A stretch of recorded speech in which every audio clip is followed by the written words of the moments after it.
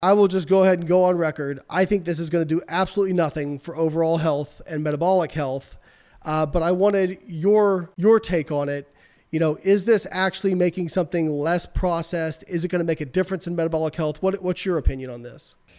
Uh, like you, I expect unless there's a significant reduction in how much people are consuming, if people if it changes doesn't change consumption, we're going to see next to no next to no difference. And this again is where there can be pitfalls around this concept of uh, the, the operational definition of UPF and focusing on these industrial ingredients and thinking, oh, it's the industrial ingredient per se that's causing the problem and not the fact that that's a marker of a bigger issue. So then switching out that industrial ingredient for, say, a, a natural or, or a non-ultra processed ingredient, yeah, it's still incredibly high in added sugars, way above most recommended daily values.